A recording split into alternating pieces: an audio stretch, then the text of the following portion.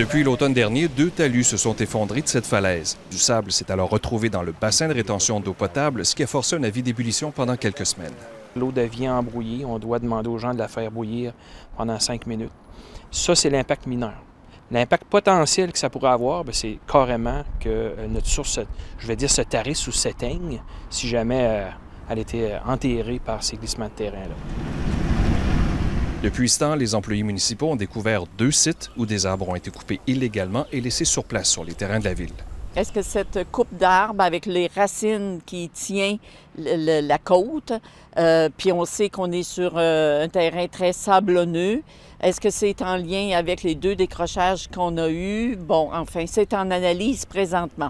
Plus de 30 000 seront nécessaires pour remplacer les arbres abattus pour protéger la prise d'eau potable.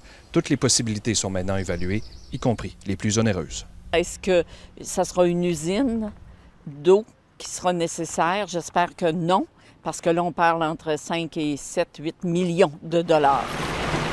Si d'autres décrochages devaient survenir et fragiliser l'accès à l'eau potable, ce serait catastrophique selon la ville. On parle de services incendie, on parle des écoles, on parle des résidences, on parle du CLSC, on parle des résidences aux personnes âgées, on parle de tous les services. On s'entend, chaque forest villois utilise l'eau à tous les jours. Les élus ne veulent pas que ces événements se reproduisent. Le dossier a donc été remis, entre autres, à la Sûreté du Québec pour tenter de trouver les coupables. André Normando, TVA Nouvelle, Forestville.